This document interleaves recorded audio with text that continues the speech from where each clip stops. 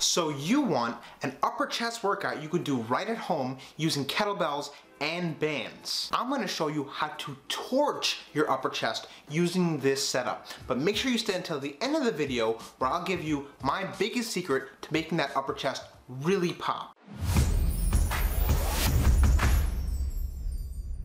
I'm Dr. Ram, physician, bodybuilder, and founder and head coach at Ram Wellness, where we help busy professionals just like you upgrade how you feel, look, and perform for life. But hey, you're here to find out how to get the best upper chest workout at home with kettlebells and bands, so let's get right to it. All right, guys, so we're starting here with the setup. So obviously what you're gonna need are two kettlebells and one resistance band, preferably one that has these carabiners attached to the end because that's going to help us attach, eventually attach the resistance band to the kettlebells.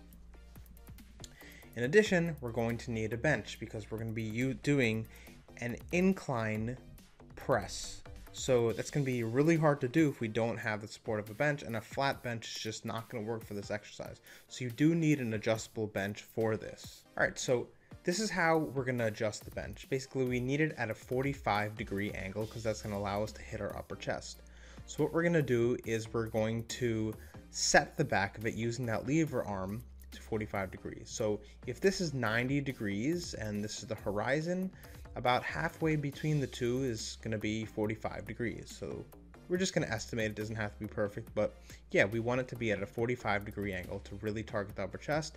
And in this machine, the way we do that is by setting this arm into the appropriate ridge to help us achieve that angle.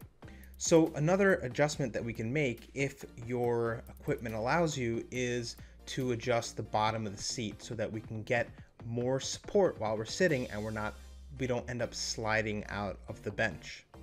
So this is what it looks like once it's adjusted.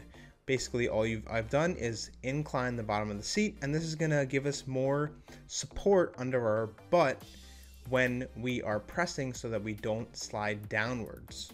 So what we're gonna do now is get the resistance bands set up. And the way we're gonna do this is first we're going to put the kettlebells on either side of the bench where we're sitting and we want to place them right about where the crease is. The reason for that is we don't want it to be too far back or too far forward so that when we go to pick it up off the ground, we don't have a hard time getting up and, you know, ripping our, end up ripping our shoulders off. So what we're gonna do now, is we're going to attach the resistance bands. So what we've done is we've threaded the resistance bands through the front of the handle and out through the back around the side and hooked it to itself with the carabiner. And this is important the way that we do it as we'll soon see in the next clip. So we've fished the resistance band now uh, through the kettlebell and under the bench. And this is very important because we're going to be using the bench to anchor the resistance band so it doesn't snap up and hit us and so that we can create that extra resistance during the exercise. And the way we've done this is, again, we fish that resistance band through the front of the kettlebell around back and hooked it to the uh, to, to itself using the carabiner and done the same thing here. As you can see, it's going from the front to the back. And the reason this is important is because if you have it done the other way, or uh, say on this side where you just have it uh, front to back here, but on the other side you have it back to front, it's kind of going to create a little bit of resistance when you go to press up the top because the resistance band is going to be pulling towards the front here and then pulling towards the back on the other side depending on how you set it up. So basically, all you need to know is that you need it to be set up the same way on both sides. All right, so now we're gonna dive right into the workout and you're gonna see I'm gonna take my time and I'm going to lift the kettlebells up and get them into place. Now, technique is everything. So let's start with the floor and work our way up. That's how we're gonna do this for every single exercise. We go from the floor up. And the floor, we do this because the floor is where we generate power and stability. So the first thing we need is our feet in contact with the floor. As you can see, I have my toes about in line, if not slightly behind my knee. And what this allows me to do is to use my legs to stabilize me. If you get into this position, you're in a super arched position, and by putting my legs behind me, I can kind of drive my legs into the ground, uh, which gives me a lot of stability and a lot of power. Then working my way up, I make sure that my butt is evenly touching the seat on both sides, perfectly balanced. And then you could see there's an arch in my back, and then my chest is really up and out.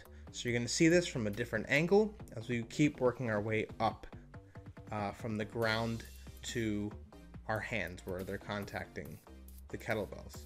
So again, we've gone up in weight here, we've increased the resistance bands, but the form stays the same. And we get into position, again, our feet are flat on the ground. Uh, I don't want you to follow what I'm doing here where just my toes are in contact. I prefer if your entire foot was in contact, contact with the ground. So here, again, we have our chest up, our shoulder blades, blades are squeezed back and together. So that gives us lots of stability and helps us uh, protect our shoulders while we're doing this. So our head is back, our head is neutral. And as you can see by my cheeks, I'm breathing and I'm bracing while I'm doing the exercise so that I can maintain as much stability as possible. The way I do this is I breathe deeply into my belly and I hold my breath as I press the air up. And while I do this, it's going to make my upper body really, really, really tight, really, really, really rigid, so I get a lot of stability. And in the last clip here, you'll be seeing it from a different angle. And basically, the last thing I want to go over here is the tempo, basically, how long we're taking to press the weight and how long we're taking to lower the weight. And this is really important because it's going to help you maintain really good form and maintain a lot of tension in the chest where you want it in the upper pecs. So what you see here is I'm going all the way down, getting a deep stretch at the bottom, and I'm pressing straight up towards the ceiling. It's gonna get a lot harder as you press towards the ceiling because of those resistance bands. So I'm lowering for a count of maybe two to three seconds, and then I'm pausing at the bottom, and then I'm pressing straight up, squeezing hard as I can at the top. Here's the big secret when it comes to building your upper chest, and that is you want to imagine trying to put your your upper arms together. So the way you're going to do this is you're going to roll your shoulders forward and elevate them. And basically what I'm showing you here is that you're trying to get your arms together like this to touch because what that does is if you see my chest in this little um, uh, video here is that gets you to squeeze your upper chest together and you could see me really do that at the top especially from this angle I'm getting my arms up and together and you'll see me pause for about a second where I'm really trying to bring my upper arms together. Now, obviously they can't touch because my chest and my body's in the way, but I'm imagining that I'm trying to touch my biceps together. And that's going to force me to squeeze the upper part of my chest so it kind of forms this shelf at the top. All you want to do is you want to squeeze super hard at the top. So get your form right from the floor up. Thank you for watching this video today. I hope you guys learned a lot on how to get a great upper chest workout at home using kettlebells and bands. I had a great time putting this video together for you guys. If you enjoyed it, smash that like button down below because then you'll tell YouTube that you want other people to see this video. And remember to hit the subscribe button because I'll be posting videos like this and other workout tutorials, nutrition tips, and videos on how to get your mindset right every Monday at 6 p.m. Eastern Time. And always remember, aim for exceptional. I'll see you guys in the next one. Peace!